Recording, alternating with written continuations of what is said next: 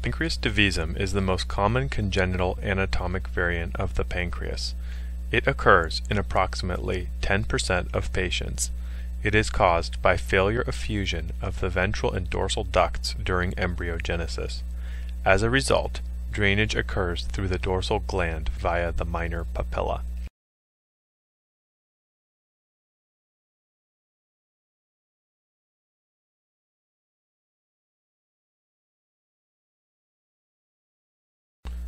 In pancreas divisum, the dominant drainage occurs through the minor papilla rather than the major. The ventral pancreas, shaded in blue, has a hypoechoic texture with EUS. In a normal pancreas, the main pancreatic duct can be followed into the more echogenic dorsal gland.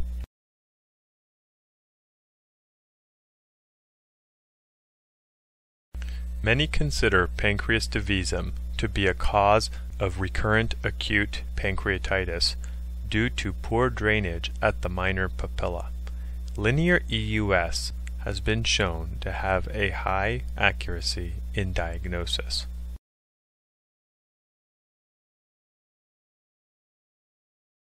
EUS identification of divisum may be important prior to ERCP for ampullectomy or sphincter of Oddi manometry.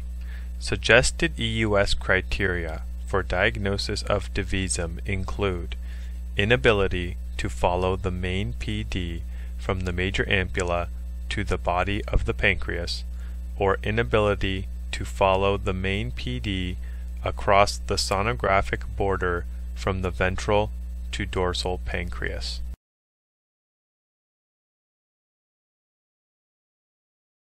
Normal pancreas anatomy. From the second duodenum, we see the darker texture of the ventral pancreas, with the bile duct and the pancreatic duct emerging from the ampulla. The CBD should always emerge above the PD in this view. We can follow the main PD into the brighter dorsal pancreas it may be difficult to follow the main PD continuously into the body of the pancreas in this view.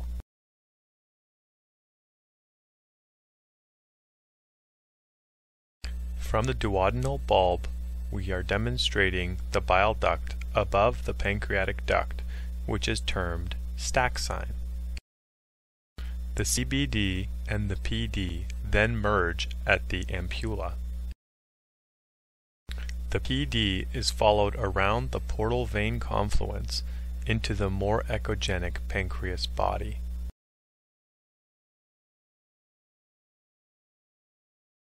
These findings allow us to rule out divisum. Now we can follow the PD back into the ampulla.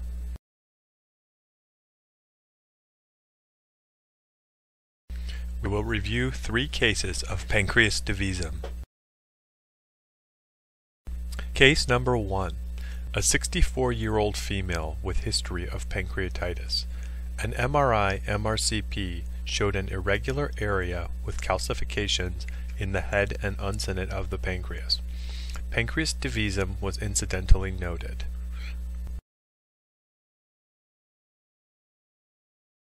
The main PD is seen terminating at the minor papilla. We follow the CBD, which terminates at the major papilla, suggesting divisum. We also see this irregular calcified area in the head of the pancreas.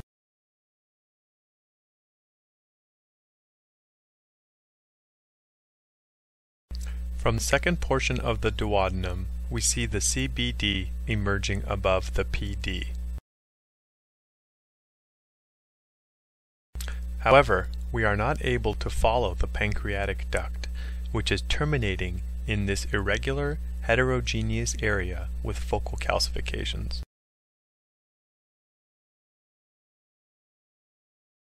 As we move toward the body of the pancreas, we notice the main pancreatic duct emerge from the minor papilla.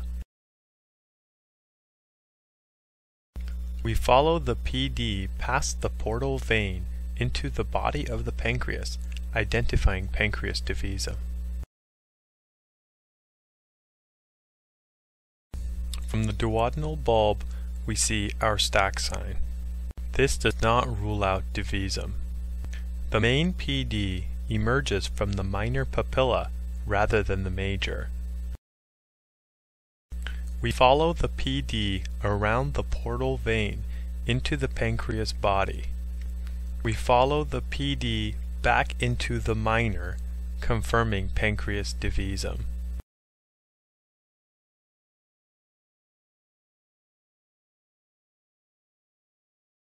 Case number 2.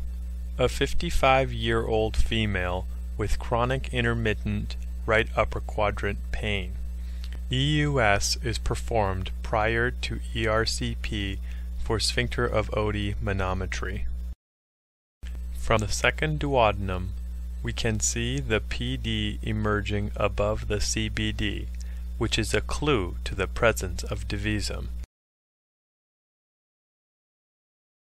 We can follow the main PD around the portal vein into the body of the pancreas. From the duodenal bulb, we see the PD above the CBD, which is the opposite of the normal stack sign. This suggests divisum.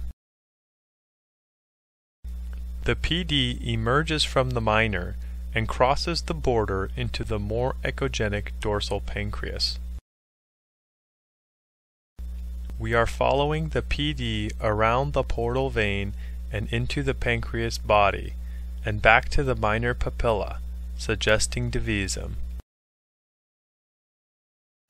Subsequently, ERCP with cannulation of the minor papilla demonstrated the main pancreatic duct, confirming divisum.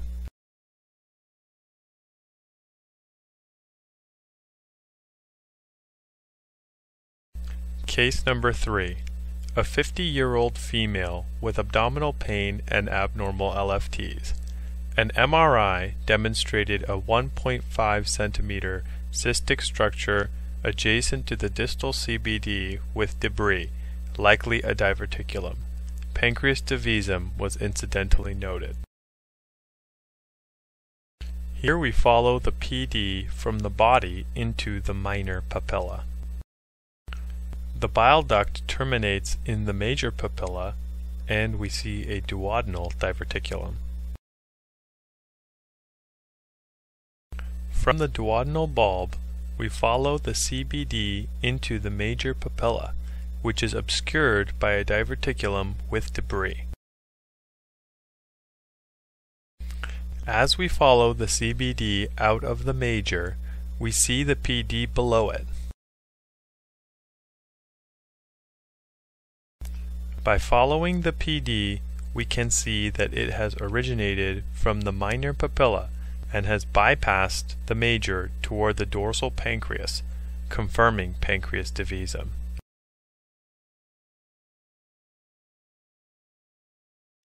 Pancreas divisum can be excluded by following the pancreatic duct from the major ampulla to the body of the pancreas, across the sonographic border from the ventral to dorsal pancreas.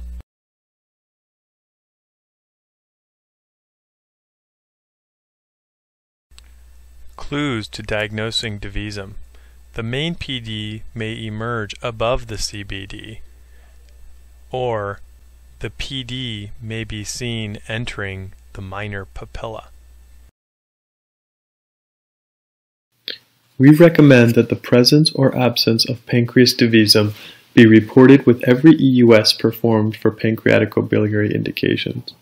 A careful examination is necessary in idiopathic pancreatitis, chronic pancreatitis, unexplained epigastric pain, dilated main PD seen on imaging, before intended ERCP, and when there is a termination in the main PD in the head of the pancreas on ERCP to differentiate between divisum and neoplastic obstruction.